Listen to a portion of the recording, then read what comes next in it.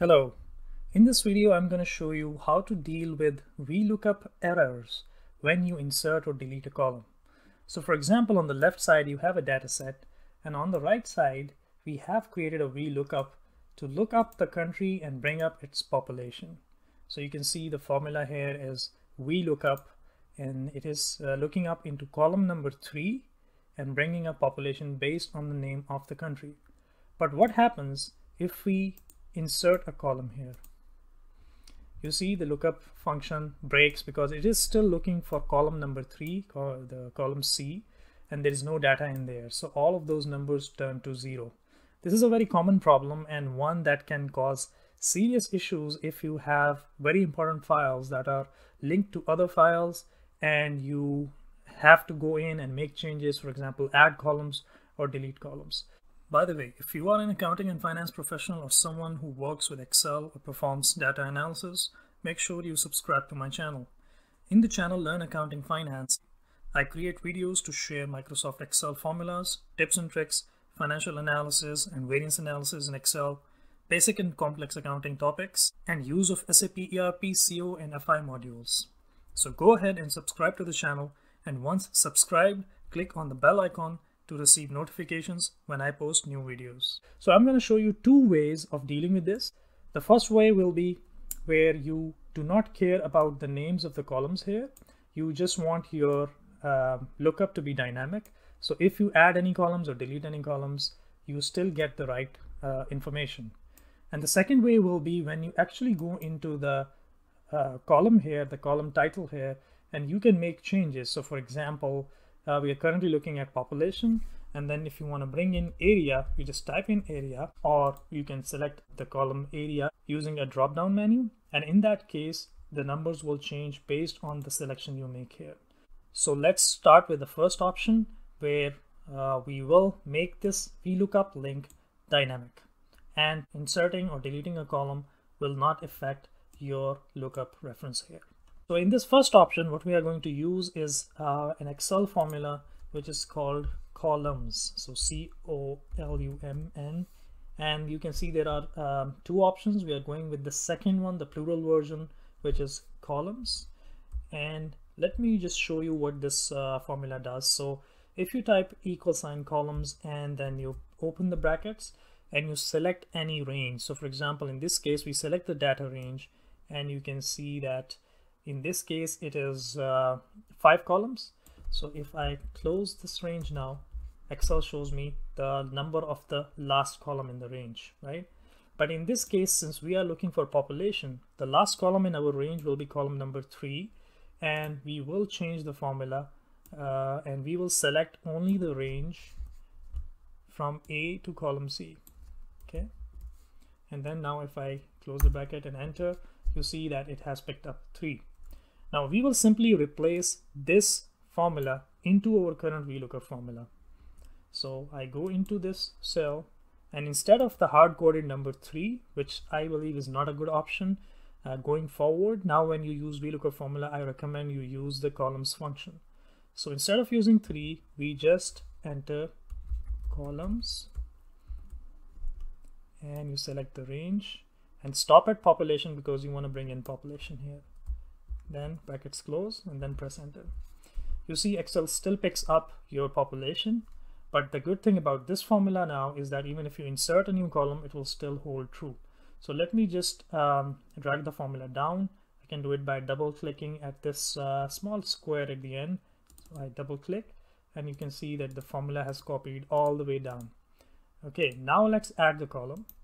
So if I add a column, let's say I want to add some more information click insert and you see this still holds true because automatically uh, this formula has ensured that Excel is picking the right column from this data set.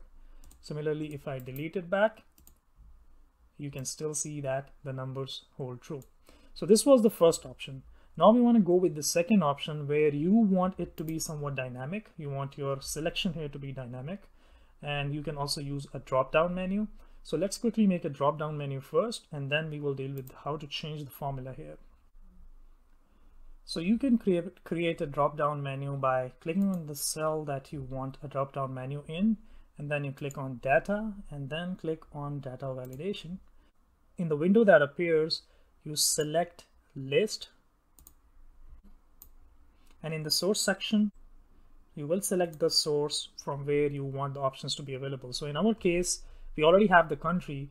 Uh, the options we want to allow are these four columns, right? So from region all the way to population density. So the source is selected, click the button again, and then just click on OK. So now you see there is a, a small drop-down option that is uh, available.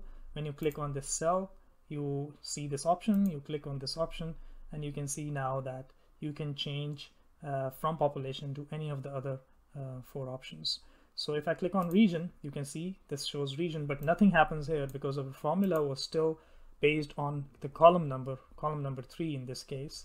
Uh, but we want to link this to uh, this result to the selection we make here using the drop-down menu. So in this case, we will use the match formula. So I will show you how to do that. So let's see how the match formula works. So if I type equal sign match, Excel will show me what I need to enter next. So it says lookup value, which will be the value of the column that we are looking for. And I'm going to freeze this cell because we will be dragging the formula down and I want it to be, I want the selection to be stable. And then we look at the range. So in this case, our lookup range is from the first column all the way to the last column. And again, we will freeze the range by pressing F4 and you see these dollar signs uh, appearing next to the cell reference. And the last thing is what type of match we want. So we want an exact match, which can also be entered by entering zero. And then you close the brackets and you see that in this case, if I've selected population density, the result that match shows is 5, which is correct because our col column for population density is column number 5. Okay, similarly, if we change this to region, you see that the result here changes. So it's dynamic here now we have to do the same thing with our VLOOKUP formula here.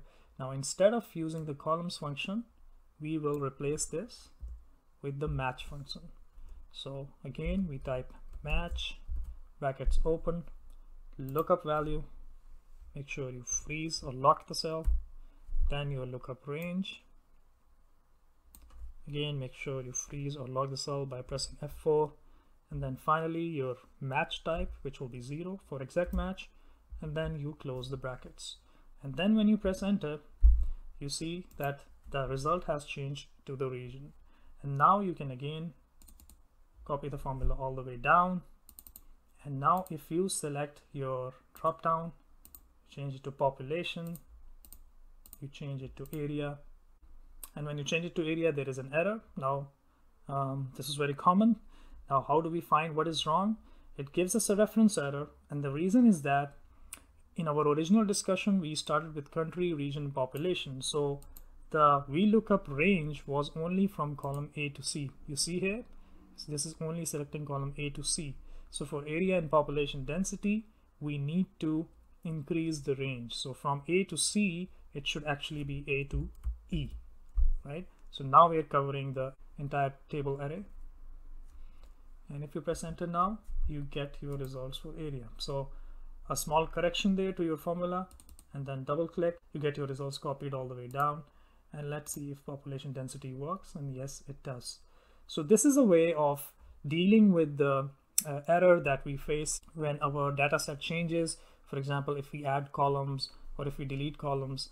And I recommend that you always use one of these two methods. The one I like more is the columns method because we are usually not using this drop down function in our um, results. Most commonly, we do not really care about the title here, but what we really care about is that the data here always is consistent coming from the same column that we originally intended. So I like the columns formula. This way it keeps it dynamic. So going forward, I would recommend not to type the column number uh, manually, not to plug the number of the column, but use the columns formula. And if you want to give the option of a drop down, then in that case you can also use the match formula and then you will have one less thing to worry about and you can have peaceful nights because your files will be bringing in information correctly from the right column.